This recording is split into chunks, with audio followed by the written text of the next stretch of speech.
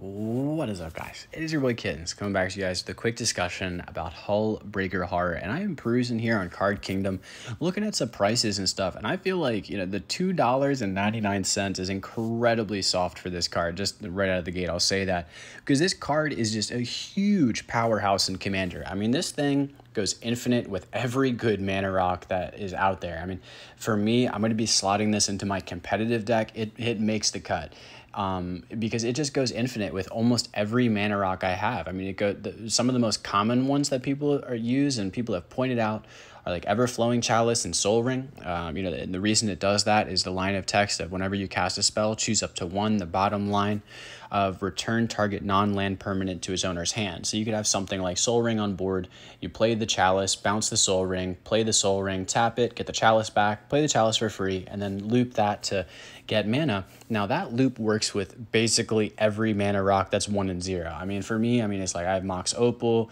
Mana Crypt, Mana Vault, Basalt Monolith plus Sol Ring. Um, I mean, it's literally like it's it's a number of them. I mean, for me, I'm going to be playing Hullbreaker Horror, and if I'm playing it on a board with seven mana, I'm gonna go infinite. Like I, I don't think there's a, a board where I'd have two mana rocks that can't go infinite once I play Hullbreaker. And I feel like that's what a lot of people are going to be doing with it, just a trying to assemble super easy infinite combos with artifacts that people already use in basically any blue deck.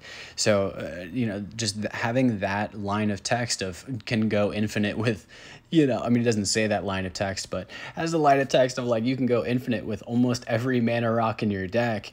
Um, and then on top of that, you can use it to control the board and pseudo counter spells by you know returning spells that are being cast. You can also you know target a permanent, a super problematic thing. I mean, you could even use this to set up going infinite. You could be about to go infinite, and then you're like, oh well, I have to get rid of this one thing on the board so that you know so the stax piece is gone, and then now I can go infinite. I mean, it's it's pretty powerful. I mean, you think about it in that lens of like it can it can also control what's on the board to allow you to go infinite, and then the same card then allows you to go infinite, and it's like I don't know, man. I'm looking at this at two dollars and I'm like, that's not happening. This is this is very clearly a twenty to thirty dollar card, maybe fifteens, but I I mean I'd say fifteen would be like the common least you know, least sought after copy simply because it goes infinite with everything. I mean, if you're playing a blue deck,